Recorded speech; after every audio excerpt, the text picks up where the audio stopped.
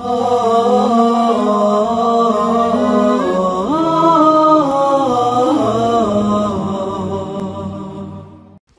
عليكم ورحمة الله وبركاته.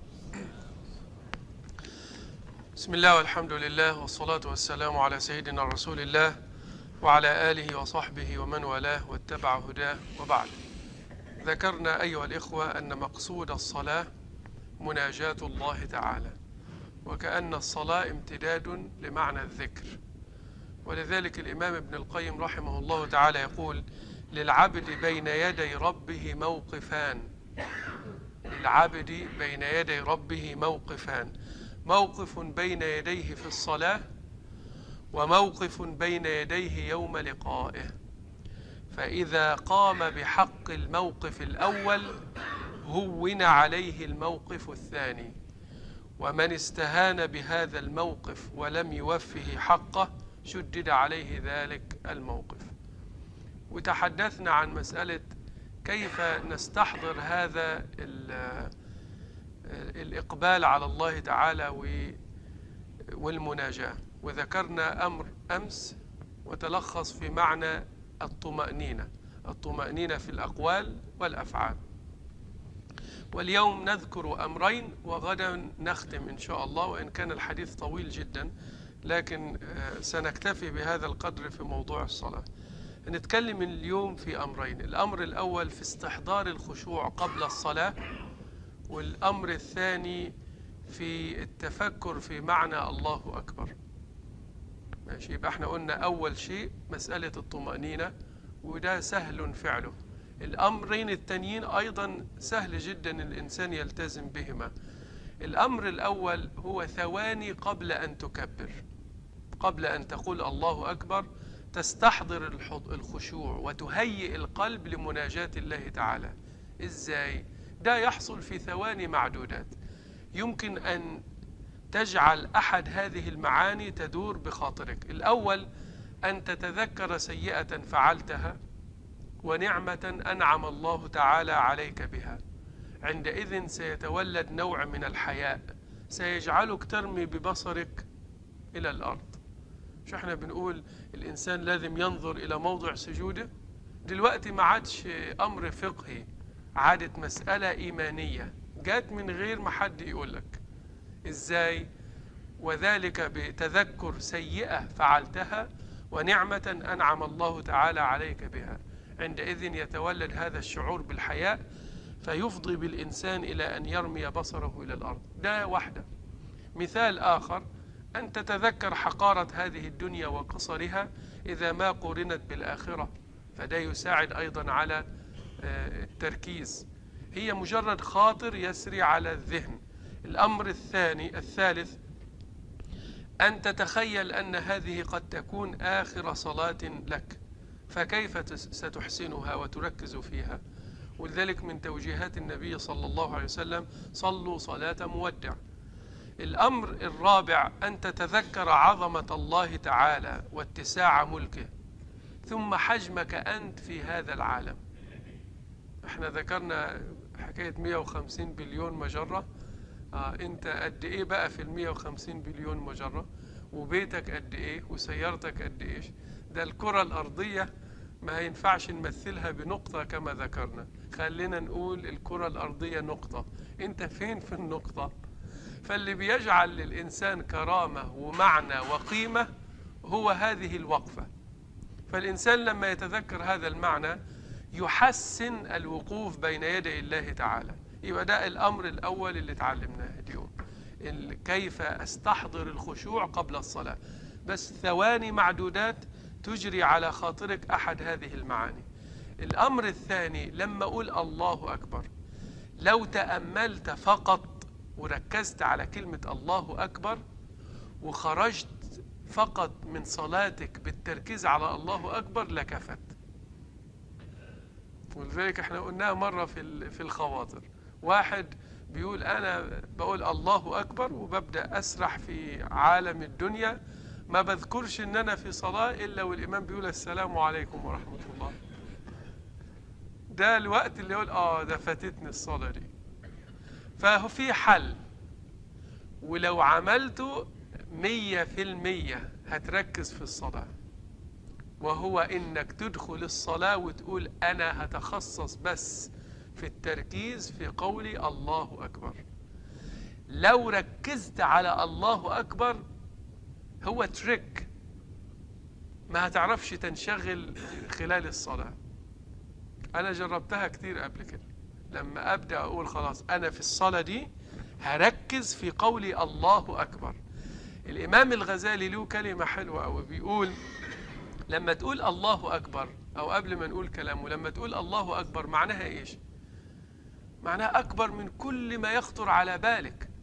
معناها زي ما الناس الطيبين بيقولوا يعني كل شيء أصغر. ولذلك كلمة الإمام الغزالي هنا لها معنى. يقول فاحذر أن تكون أول صلاتك كذبا. أنت لسه بتقول الله أكبر والدنيا كلها في دماغك. طب خلي أول جملة هي اللي تصح على الأقل. فهو ركز بس لو ركزت في الله أكبر هتلاقي القلب اشتغل.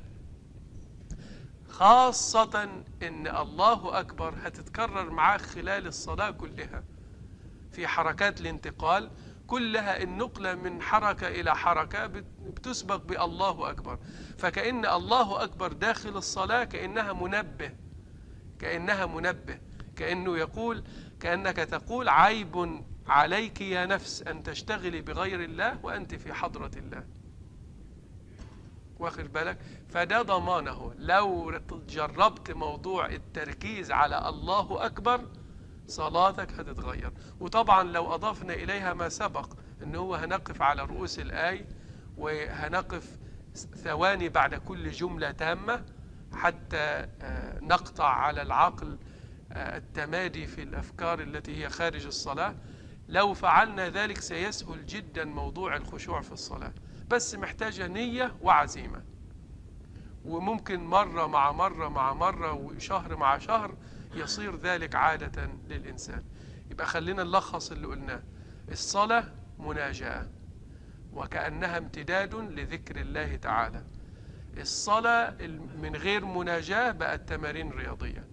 كيف أجيب المناجاة؟ الطمأنينة في الأقوال والأفعال وشرحناها. الأمر الثاني استحضار الحضور الخشوع قبل الصلاة. ثواني مش دقائق ثواني.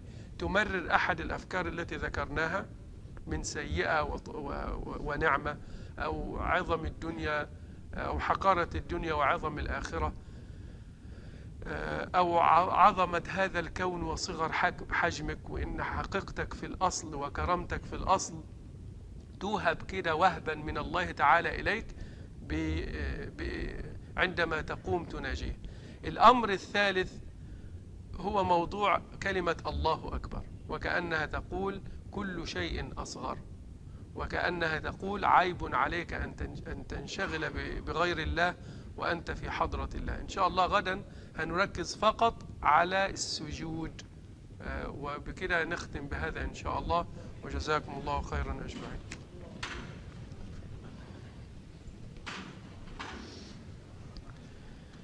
طيب if we keep it please quiet يا شباب as you're leaving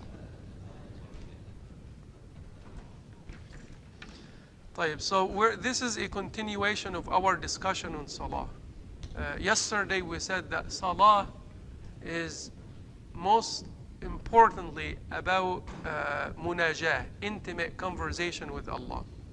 If we take off that idea of intimate conversation, Salah becomes reduced to uh, physical exercise or just empty rituals. So how can we uh, nurture this idea of munajah of Allah subhanahu wa ta'ala? Yesterday we talked about the idea of tuma'nina, stillness and calmness in the in what you're saying and in what you're doing and we explained that yesterday and it is easy to manage because you do not need to concentrate on anything it's just a new habit that you need to develop and today we'll talk about two more uh, tips and tomorrow we'll concentrate more on sujood as a way of uh, making sense of our salah so two things today what what can we do before saying Allahu Akbar and what does Allahu Akbar mean? You can bring in khushu' and prepare your heart before salah just if you spend five or ten seconds thinking about one of the things we'll list now. So I, I warn myself and I warn everyone to start your salah after a long conversation with people. Like you, you talk for 30 minutes or one hour and then all of a sudden Allahu Akbar. No, you're not ready. So take few seconds and think about one of the following in order to prepare your heart for salah. Uh, so what are these examples? You can think about a, uh, a sin you committed and one of the blessings of Allah subhanahu wa ta'ala on you. When you think about these two, it will generate a sense of haya and shame, and this will make you look down. You know, we always hear these directions look at the place of your sujood. Now it will come naturally as you think of something bad and something good that Allah, something bad you did and something good that Allah gave you. That will generate a sense of haya. Second, you can make a quick comparison of the sureness of this life and the eternity of the afterlife. It's few seconds. It does not have to be long time. You can think of salah as if it would be your last salah. So how would you? Uh, so you will be really uh, uh, uh, interested in perfecting it. You can think about the greatness of Allah and and the vastness of this universe and how small you are. These comparisons will awaken the heart quickly. It, it means that you're very, very small. And what gives you honor is that standing. So concentrate on what you're doing. Remember when we said the whole planet Earth cannot be represented by one dot in the map of the universe? Let's say it is one dot, as we mentioned before. So where are you in that one dot? Where is your car? Where is your house? So it's, uh, it's basically nothing almost mathematically in this whole universe? Nothing. What gives you value is these moments when you connect with the real, as we explained before. So these are just quick ideas to prepare your heart for Salah.